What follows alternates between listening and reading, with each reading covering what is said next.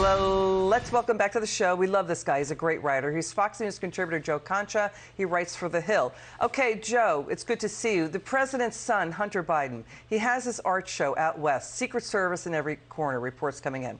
Uh, the New York Times columnist uh, Bret Stephens puts out an opinion piece saying what is going on here, quote, screams of a scam, selling art to anonymous buyers who, who could be trying to buy influence. His paintings are going for half a million bucks a piece. What do you, where do you come down on this? Bret Stephens is absolutely right. I mean, this is influence peddling, Elizabeth, in broad daylight.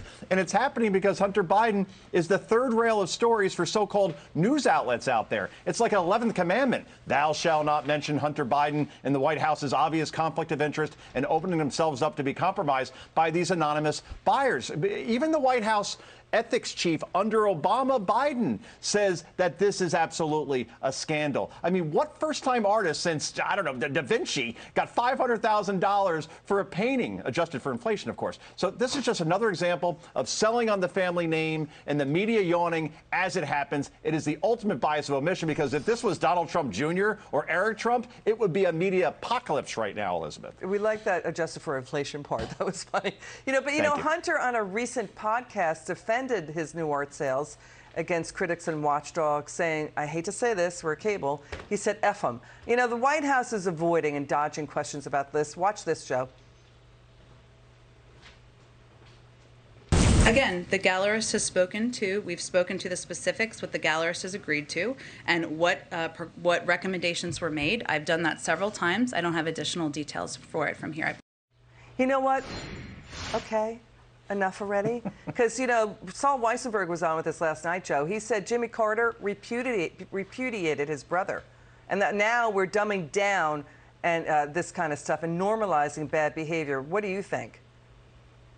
It seems like we are normalizing bad behavior because, you know, maybe one question to Jen Psaki here and there about that. We're 60 minutes on this. I mean, honestly, I mean, here you have so much, and not just here, obviously, what would happen with Hunter Biden and Ukraine and Burisma and China and his, his um, laptop and the emails where you had traditional media before the 2020 election working with social media, working with the Biden campaign to squash that story that the New York Post got first. And they succeeded. Consequences, future trust be damned. And I want to know where the 50 former senior intelligence officials who signed off on that letter, remember, Elizabeth, yeah. uh, that almost every media outlet touted as definitive proof that they all said, well, the Hunter Biden laptop story had to be classic earmarks of Russian information, misinformation operation. Where's CIA Director John Brennan? He signed off on that letter. He's on NBC News. He has airtime. He should go on and say he got it completely wrong. Or General Michael Hayden. He's on CNN. He said that was Russian disinformation as well, the laptop story. You know really You'll see so him sketchy. on the air talking about this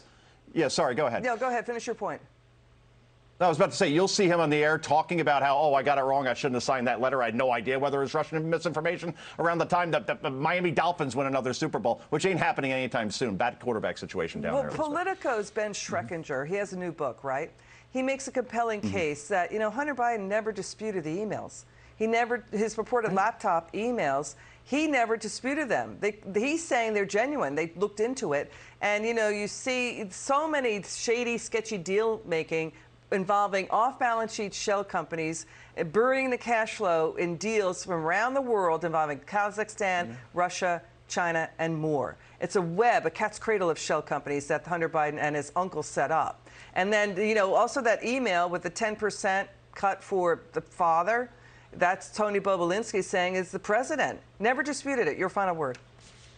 Yeah, the big guy. And and look, those emails that you talked about, there are people CC'd on those emails that those emails are directed to coming to and from Hunter Biden. Everybody that were, was in those emails also never disputed, hey, that's not me. Hey, I wasn't involved in that. And that's all you need to know about that. But again, this was just an effort by big media and social media, an effort to get candidate Biden over the finish line, and it worked. Got what it. a catastrophe, Elizabeth. Joe Concha, it's good to have you on.